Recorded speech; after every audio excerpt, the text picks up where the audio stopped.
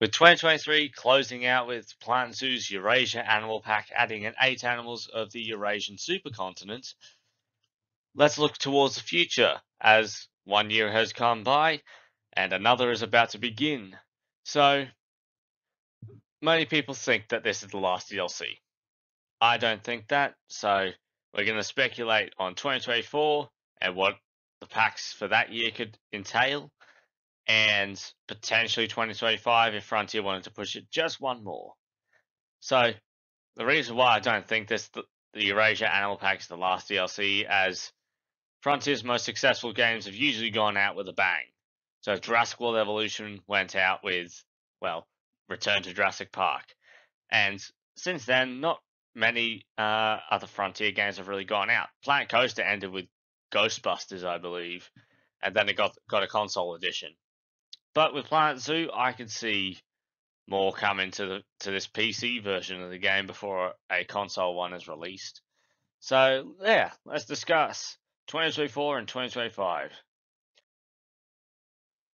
Beginning with 2024, this is the most likely year to potentially continue the game, as yeah, there's still a lot of highly requested animals and major groups that have not been covered yet.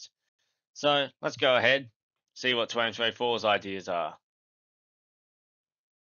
Our first pack is the Latin America Animal Pack, a pack full of South America's most diverse creatures, namely mostly primates in, in this case. So, our first animal is the South American Coatimundi, a relative of the raccoon that is known from the South American continent and one of the most highly requested animals in the game a common sight in many zoos, and an omnivore, so it'll be able to feed on a variety of different food sources. The black howler monkey has had scenery in the game for a long time. A, a particular monkey sign from the base game has been mostly speculated to be a howler monkey, and that seems to be the most likely option. The black and gold howler monkey is the most widespread in captivity and would be the best option, being the most requested of new, the New World's primates. Next best thing is the Geoffroy spider monkey, a primate that would be able to utilize the brachiation mechanic that is not an ape. It is often regarded as having five limbs, with its tail acting as sort of a fifth, being able to be as flexible as an arm or leg. These animals would be great in spicing up the South American treetops, or in this case, the Central American treetops. The great rhea is South America's largest terrestrial bird species and a common sight in interspecies habitats in the South American precincts, often reg regarded as a counterpart of capybaras, giant anteaters, maned wolves, maras, and various other animals such as tapirs too. So this would be a great species to be able to place in habitats full of other South American natives. Another animal is our carnivore of the pack, the ocelot one of South America's most notable felid species, and a beautiful one at that. Much harder to find than jaguars, as well, these guys come out at night mostly, and also not too big, so they are much harder to find. But ocelots are the are the highest the highest requested cat, I would say, in the game, as well. It is another one from South America and the most notable missing from the continent. Some of the tamanduas are a species of tree-dwelling anteater that also dwells on the ground occasionally. If Planet Zoo wanted to add in climbing mechanics for the Chinese pangolin, the tamandua could jump onto that train as having a very similar behavior set to a pangolin, so that could potentially work in its favor.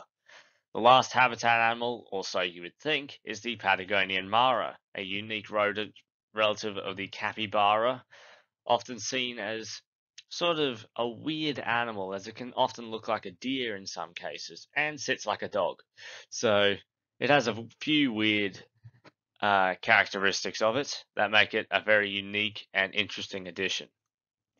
The last animals of the pack are a selection of mini monkeys that won't be featured in a walkthrough exhibit, but instead are a selection of habitat monkeys sharing very similar animations, if not the exact same, and very similar vocalizations too only having different models to separate them, as the Callitrichidae family of tamarins and marmosets is very diverse in the appearance of its species. So I think this would be a very fun addition to add a bunch of primates at once. Next is the Safari Animal Pack, an opportunity to add many species from the African continent as well as a bit of India, as both areas have a wide variety of safari tours that show you a variety of different species. So our first animal is the secretary bird, the most unique of the raptor family of birds. And yeah, they are the number one most requested animal in the game currently, known for stomping snakes and also are endangered due to habitat loss. Their colourful faces and silver feathers make them a striking addition to any savanna habitat. The Hamadryas baboon is known for its silver fur and its bright red posterior and face. A very iconic baboon species being the most notable and distinct of them all. Though you could count mandrills and geladas as baboons, but they're actually close relatives. Next is the shoebill, a notable species of Africa's wetlands, a rare species in in the in both the wild and, and in captivity for that matter. They have a very intimidating stare. If one glares you down, you feel like you're staring at death itself. Like it looks like it's going to kill you, but it probably wouldn't. But they are a very interesting animal that I would love to see in the game. As they are also rare in captivity, they would be a, quite an enticing pick for Frontier, as they've just added the Saiga Antelope. So anything's possible at this point. Honey badgers would utilize the Wolverine rig and also the toughest animal in Africa, so only makes sense to include it here. Blackbuck are a notable antelope of India and are a common sight in many safari parks around the world.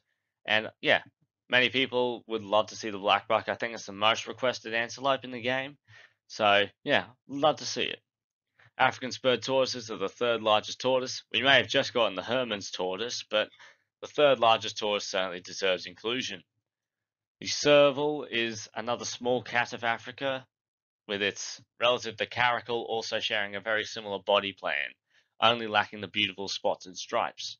So it could utilize a very similar rig to the caracal and Eurasian lynx, so making a very plausible clone species, you could say.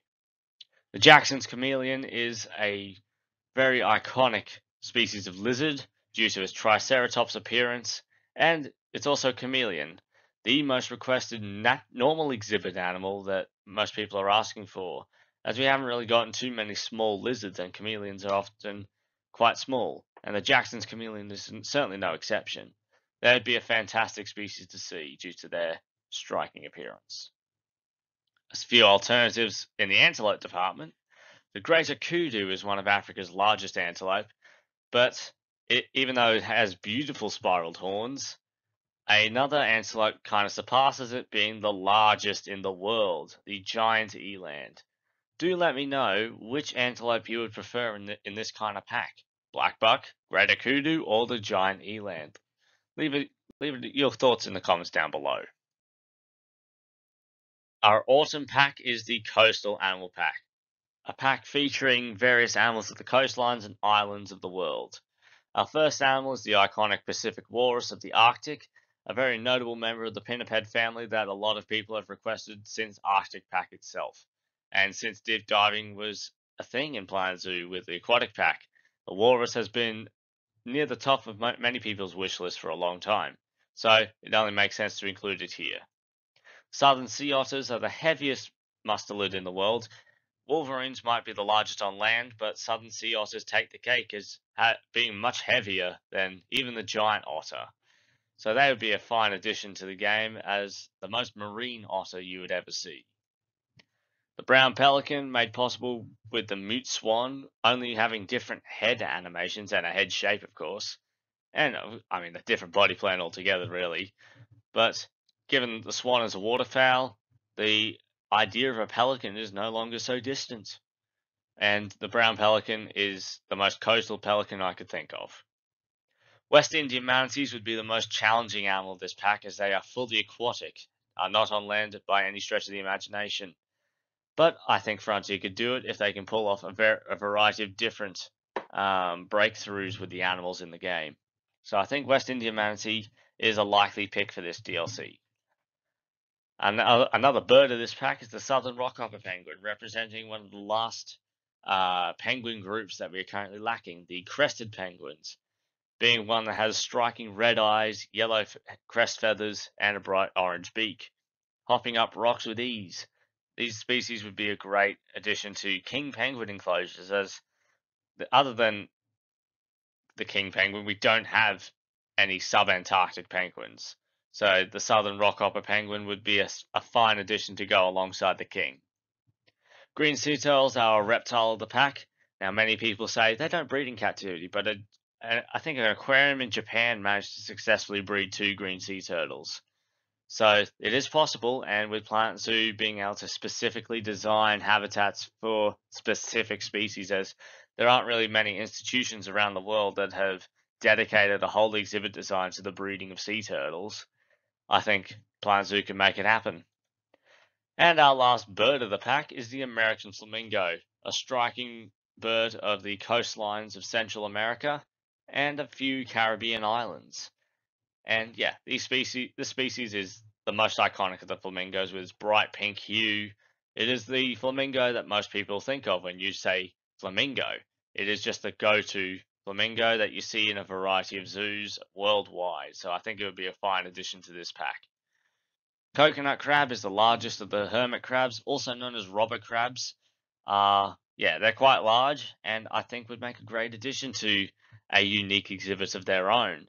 So my idea for like larger exhibit animals is sort of having a large modular exhibit dedicated to the with its design to specific species. So coconut crab could have like a beach style, and in our next pack you'll see another example.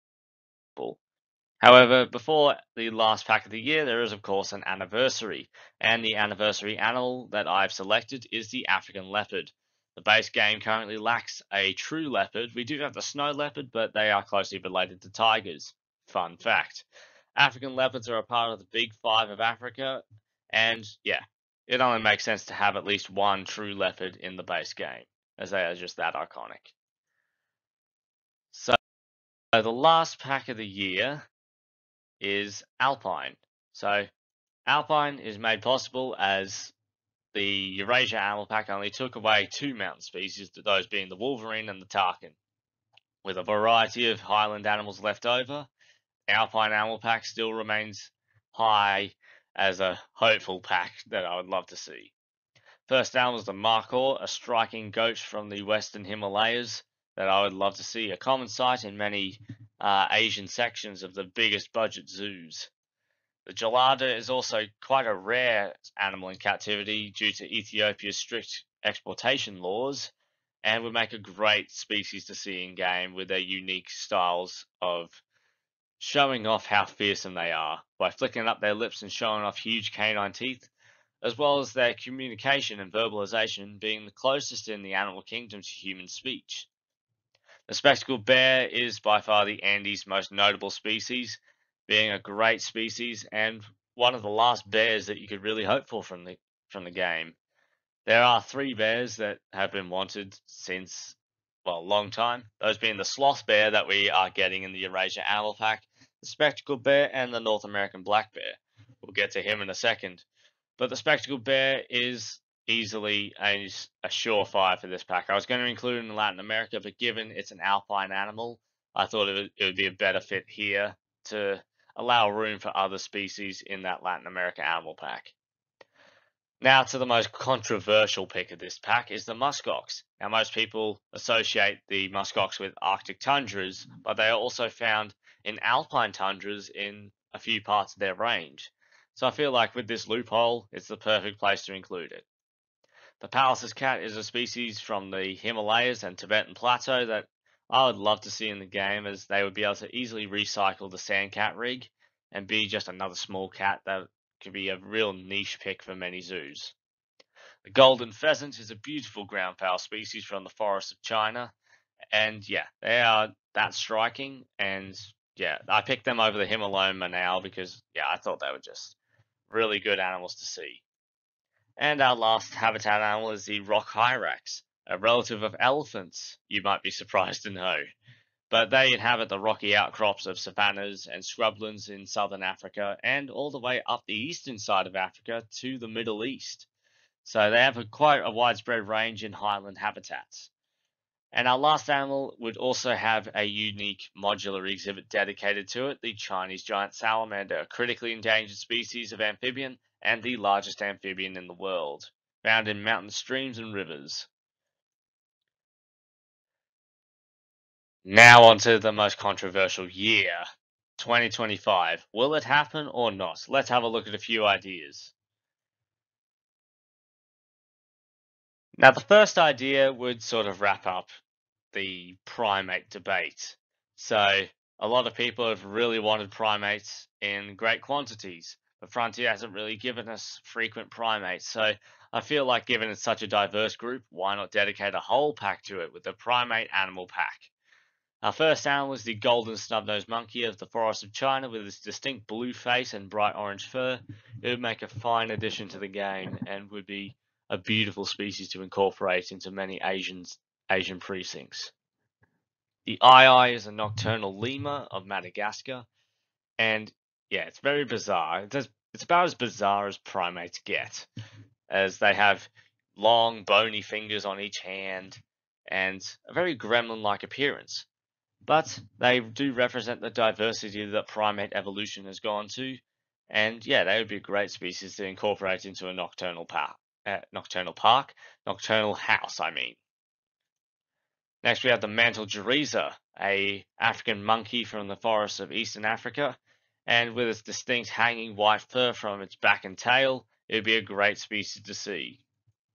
White-faced sakis as well have a distinct cream face for the males and glossy black fur.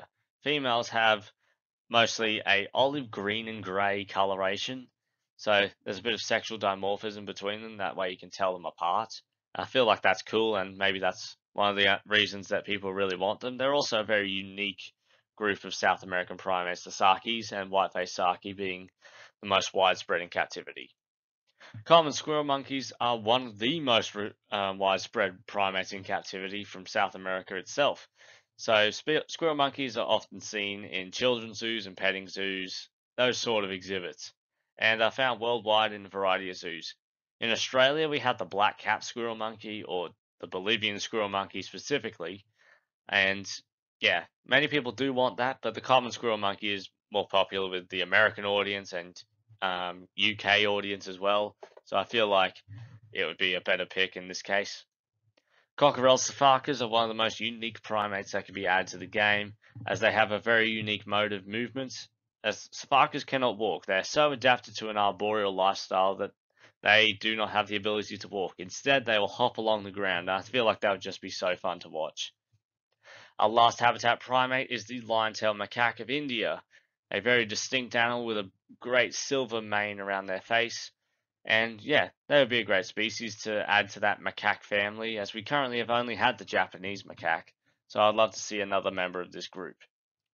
And our last exhibit animal is the Pygmy Slow Loris. Despite its size, it could also have a dedicated exhibit um, designed specifically for it. So yeah, I think that would be fun to see the Pygmy slow loris in Planet Zoo. Okay, so this is the only scenery pack that I could think of, and it is the Woodland Pack. So the Woodland Pack is completely North America, as I want to include Native American scenery and I want it to be appropriate and include animals just from North America, as that is where this culture comes from.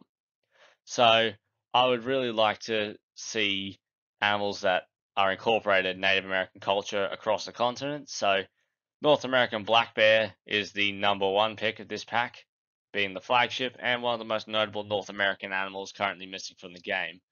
Alongside it, we find the wapiti or elk, a species with a very distinct call, one that is very iconic. And I know um, Old Country, who has unfortunately um, finished up his YouTube channel, I know he was really looking forward to wanting these two at least.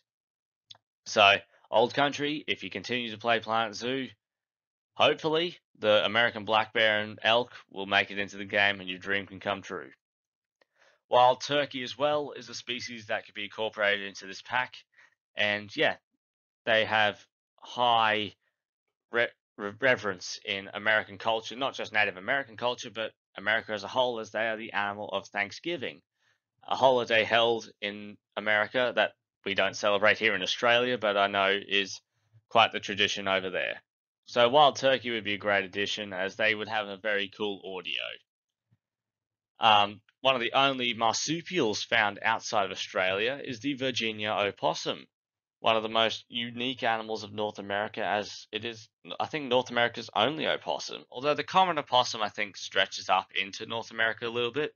I think the Virginia opossum would just be a very cool species to see in many different woodland parks. And our last animal being an aviary bird, the pileated woodpecker, a species that would create such a good ambience with its drilling into trees. And I think that would be a really cool species to have in the walkthrough exhibit. So, yeah, I've always dreamed of having a woodpecker in that walkthrough exhibit. So, I'd love to see specifically the pileated woodpecker as they have such a beautiful pattern. Okay, sort of a animal pack sequel to the woodland pack would be the forest animal pack. So this pack incorporates many animals from the forests of the world. Flagship being the highly requested Goodfellows tree kangaroo, a missed opportunity from the Oceania pack, even in my personal opinion. I love quokkas as much as the next person, but tree kangaroo would have been so much better in my personal opinion. So they are our flagship.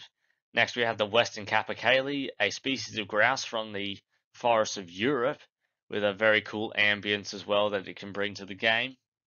Snowshoe hares would be the first lagomorph in the game, as we currently don't have any rabbits or hares. And I feel like the snowshoe hare, um, but yeah, it would just be a cool species to see, as it would have both a summer coat and a winter coat.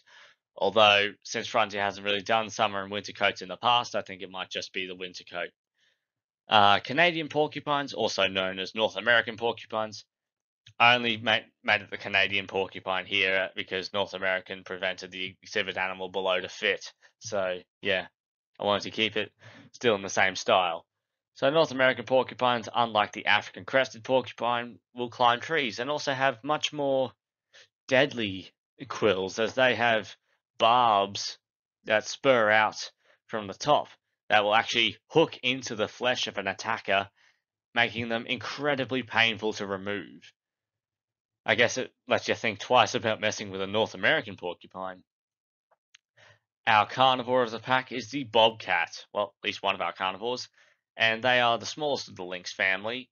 And yeah, they're found in a variety of different forests uh, and into Florida as well in the, in their unique forests. So bobcats, given their range, they'd be one of the most flexible cats to build for, as you could put them in a desert, you could put them on a grassland, you could put them in a temperate forest, a taiga forest, anywhere. You could put them anywhere, really. So they're a very cool species of wild cat that I'd love to see in the game. The canid of the pack is the Japanese raccoon dog, also known as the tanuki, a species highly requested by the community. And I personally, knowing that it would be the only canid to climb trees, I would love to see it. Would love to see the Tanuki in the game. Our last habitat animal is the short-beaked echidna, one of three monotremes in the world. The others being the platypus that we got in the Wetlands Animal Pack last year, and the long-beaked echidna of, of Papua New Guinea, of which only one exists, exists in captivity. So, yeah. Short-beaked echidna is the best option here, as they are found in the sclerophyll forests of Australia.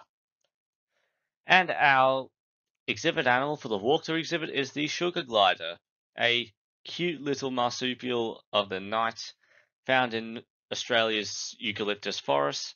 And I think that would be really cool to just see hanging out in the walkthrough exhibits. They like they'd have these little nest boxes and you can just peek in, see them nestled up and sleeping and gliding from uh, platform or tree to tree in the walkthrough exhibit. I think that would just be really cool to watch.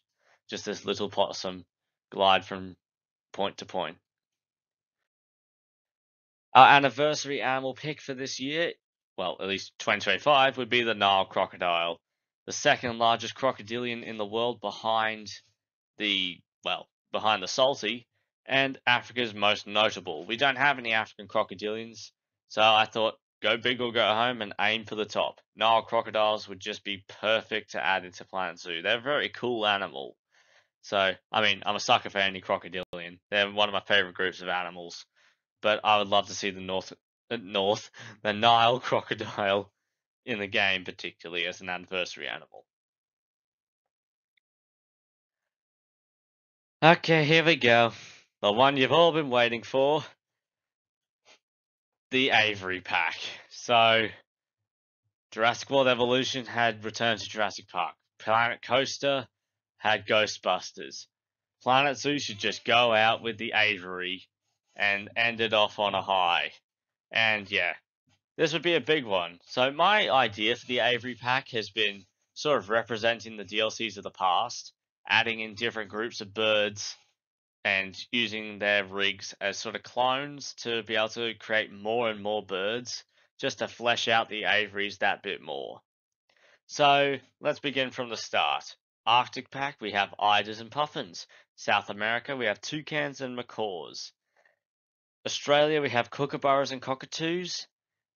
For aquatic pack, we have spoonbills and ibises. For Southeast Asia, we have hornbills and mynas. For Africa, we have storks and guinea fowls. I put a white stork there because they're actually also found in Africa. For North America, we have eagles and the blue jay. For Europe, we have falcons and starlings. Now, I know I used a superb, I, well, not a superb starling, but a species of African starling here because it doesn't have to be specifically from the continent that's supposed to represent because there's more diversity than that. So, yeah. For wetlands, we have ducks and geese of various kinds. For conservation, condors and vultures. For twilight pack, we have owls and nightjars. For grasslands, we have gra- we have grains, no, cranes and finches. So those would be some cool birds. Uh, for tropical, we have pigeons and birds of paradise, so pigeons and doves, so stuff like Nicobar pigeons and crown pigeons, that sort of thing. And the birds of paradise would be fantastic. For arid, we have the greater roadrunner and burrowing owl, the dynamic duo of the Sonoran Desert. For Oceania, we have the lorikeets and cormorants. For Eurasia, we have hoopoes and hawks. And since I was running out of room, for coastal, we have Inca tern and pelicans. And for high, well, alpine, we have ptarmigans and pheasants. Oh boy, I'm gonna need to give my voice a break after that. That was a lot of stuff. But if you have any other ideas for the future of Planet Zoo and what packs could be added, do leave your thoughts in the comments below. I will read your ideas and yeah, I would I look forward to seeing what you guys think should be Zoo's future whether you think Eurasia Animal Pack should be the last one or not. I hope you say no, because I would love to see a lot more Planet Zoo. You just saw all the animals I mentioned. A lot of them, a lot of people want. So, yeah.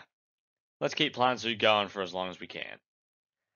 And anyway, this has been Red Panda Reggie, and I'll see you when the Eurasia Animal Pack releases. Bye bye.